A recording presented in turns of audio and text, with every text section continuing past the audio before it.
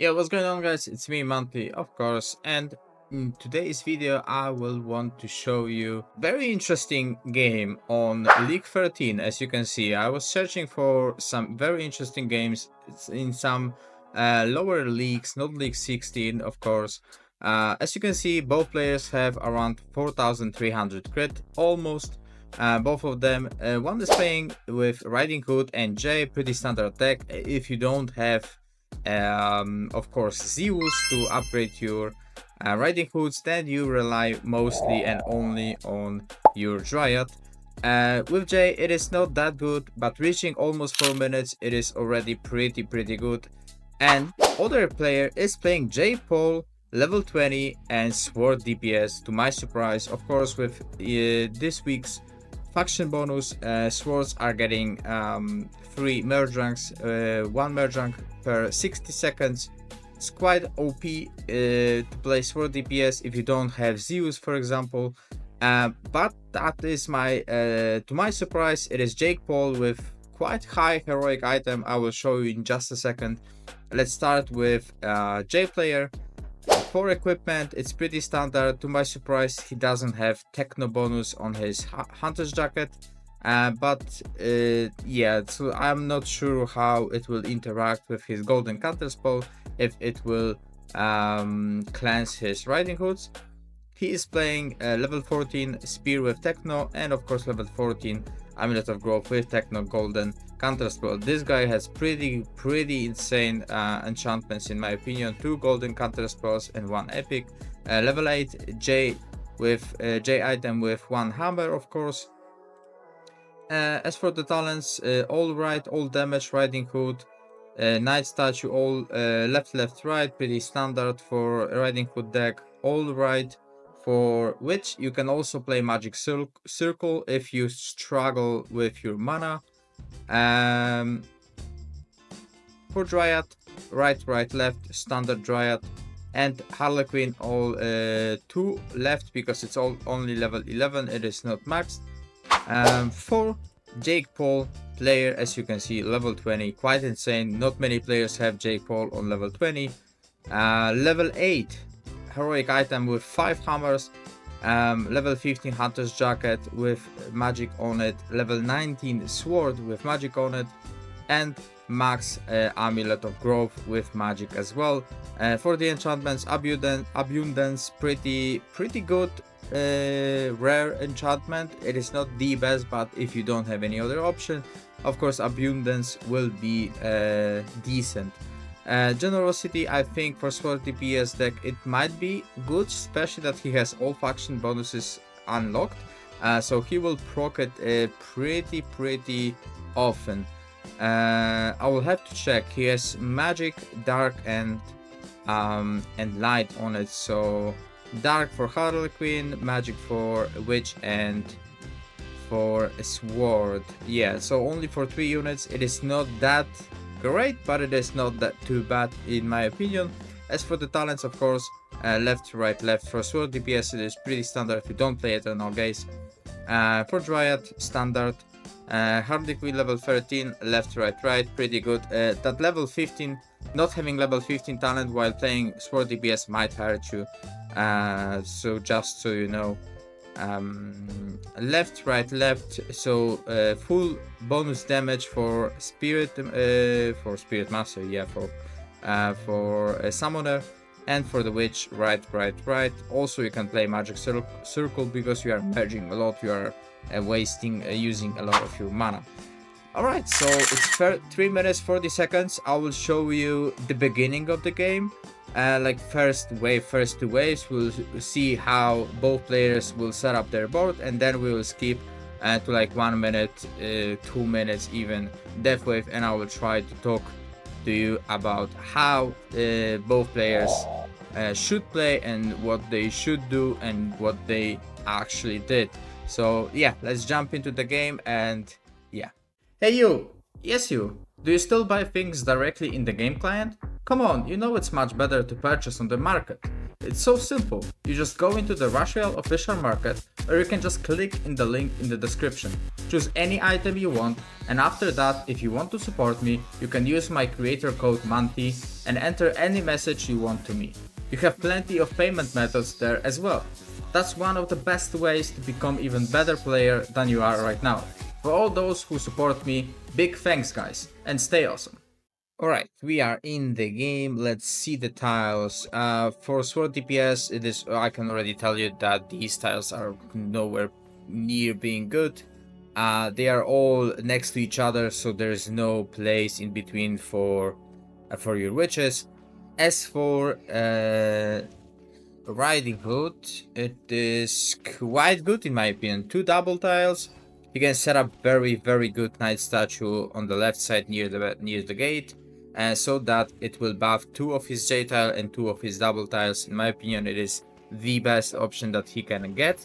Uh, if he decides to play on for two knight statues, uh, he can always uh, place it on the witch tile, uh, so he can buff uh, the, the the last Jay tile and one of the amulet of growth tiles. Um, yeah, that way he will be able to buff most of his riding hoods with Knight Statue and Witch as well. Uh, let's see, uh, the Sword DPS player is currently struggling to place his uh, first DPS sword, Ancient Sword on the Amulet tile, but we'll see how it will go. He's stacking those Dryads, so once he get it, uh, it will go up very, very quickly with Merge Ranks. Um, so yeah, let's just hope. I, I think he, he will not have any problems uh, with with killing the Gorgon. Gorgon is pretty easy boss, especially on, on first wave. If, if it was Tribunal, I would worry about it. Uh, but as we can see, uh, he's saving those three, uh, two tier 3 swords, so he has to merge any of those swords, and then next merge of swords will be uh, Ancient Sword, so he will uh, automatically, yeah, just like I said, automatically getting a tier 4 sword so he doesn't have to worry about it. I would personally merge that tier 1 sword, but let's see how it will go. Uh, we'll watch the second wave as well, and then we'll skip. Um, I will try to skip to the moment that they both place their units uh, where they want to, and then we will skip to uh, Death Wave, of course. So let's see. Um, Riding Hood player is struggling right now with placing his Riding Hoods, in my opinion. Uh, he has already tier 4, tier 5 Riding Hood. He's not yet getting those stacks that he that he needs. Uh, just quick tip for Riding Hood: deal enough damage for the first waves. You need like 40 stacks to guarantee that all of the bonuses with the with the stacks you get uh, so you need that uh, as well. As for the sword DPS, I'm nowhere near being expert, uh, but seems like this guy knows what he's doing. He has already two tier 5 swords, he has tier 5 dryad to make a tier 6, and I think tier 6 uh, for sword DPS is more than enough. Of course, preferably you want tier 7, uh, but it is not required because you play 3 or even 4 swords uh, so yeah, let's jump into the moment where both players are set up on their board and we'll see how it will go. Alright, so we are here. Um, I will run quickly with the information uh, what both players has have been doing. Uh, as you can see, Sword DPS guy has already 3 DPS swords on all of his uh, Amulet of Growth tests. Of course, he's leaving one of them uh, to be uh, to, to get to, to get his stacks uh, to the full. Uh, as you can see, one of those swords are is tier 5. Now he used the golden fairy dryad uh, on him, so all of them are tier 7. It is the perfect board that you can get without Zeus. Like, it, I don't, don't think I need to explain this. Uh, as for the Riding Hood player, he has 25 stacks. Uh, I'm quite worried. Maybe he will start stacking soon. Uh, but as for now, uh, he is playing with one knight statue, to my surprise. Uh, I think he's getting quite stuck with those witches um, because of the uh, faction bonus during this week, of course. Uh, so yeah, we'll see. Uh, here's one tier 7, one tier 6 riding hoods, one tier 5 and one tier 3. All the rest I, I would only assume that is going to just generate more mana. Uh, his red got hit. But yeah, that is uh, basically it. Uh, as for the setup that he will go for, is to place both of his highest uh, riding hoods on the double tiles, just like right now. Uh, they are buffed by both witches and knight statue. Um, so we'll see how it will end up on the death wave. So let's jump into like two minutes of the death wave and and see how the play both players do. Alrighty, and we are at two minutes. As we can see, uh, both players are dealing quite alright with with the bosses. Uh, still, uh, Running Hood player has two, three. Uh, no, sorry, two tier 7 uh, Riding Hoods and one tier 6, so it is quite good board in my opinion, without Zeus of course. As for DPS, uh, sword DPS, we can see that he got D-ranked one, on one of his swords.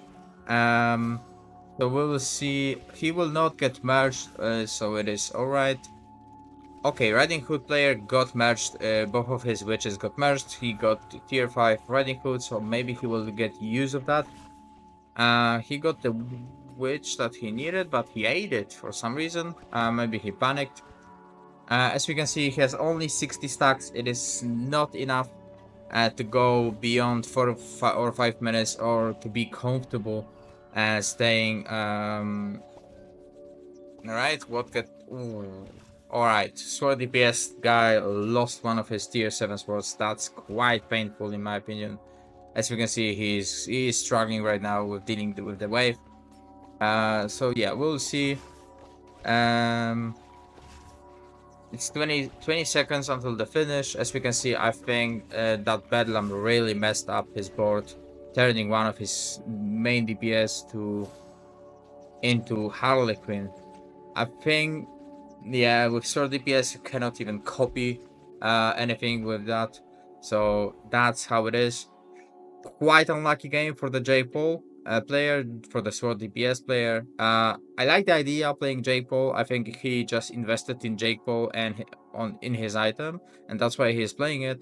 Uh, but yeah, um, as we as we all saw, he got really unlucky. I think he go he could go even further maybe to around 4 minutes 30 seconds maybe uh, but yeah that would be it for today's video hope you guys liked it and like the idea of uh, running Jake Paul with sword DPS it's quite something uh, unusual. And yeah if you liked it like the video subscribe because it helps me a ton. And 90% of my viewers are not subscribed. So if you are not subscribed please subscribe. And of course uh, comment your thoughts uh, in the in the comments. I read and respond to every comment. And as always we will see each other in the next video